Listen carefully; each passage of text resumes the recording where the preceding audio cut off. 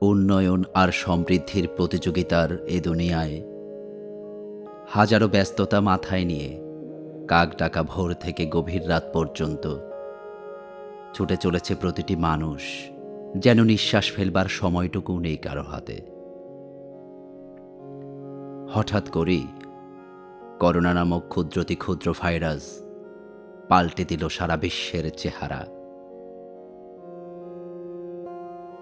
কয়েকটা দিনের ব্যবধানে ব্যস্ততম এই মানুষগুলো আজ যেন বড়ই নিঃস্ব। এমনই এক ভয়াবহ পরিস্থিতিতে আল্লাহ তালার খাস রহমত লাভের আশায় বিশ্ববাসীর কল্যাণ ও বালা মুসিবত থেকে পরিত্রাণের জন্য হজরত কায়েস সাহেব হুজুর রহমাতুল্লাহ আলাইয়ের প্রতিষ্ঠিত নেসারাবাদ কমপ্লেক্সের কেন্দ্রীয় জামে মসজিদ থেকে প্রতিদিন বাদ আসর শুরু হয়ে যায় বিশেষ দোয়া মোনাজাত। বাজান পাঁচটা বাজে দোয়ায় বইবে না। হ্যাঁ আইতাছি বাবজান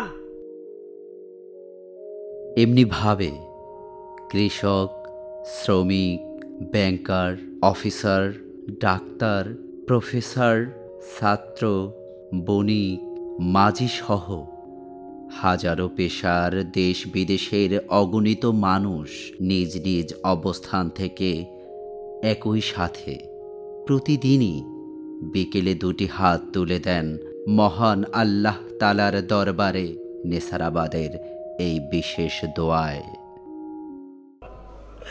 আল্লাহ তোমার শাস্তি সহ্য করার শক্তি মোদের নাই। আল্লাহ, তুমি বিশ্ববাসীকে মাফ করে দাও। আপনিও অংশগ্রহণ করুন আমাদের সাথে। দোয়ায় অংশগ্রহণ করতে ভিজিট করুন আমাদের ফেসবুক পেজ ও ইউটিউব চ্যানেলে।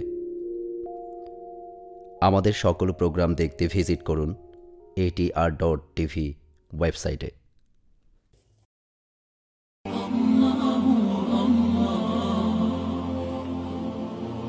আপনারা দেখছেন এটিআর টেলিভিশন সত্য প্রবর্তনী ঐক্য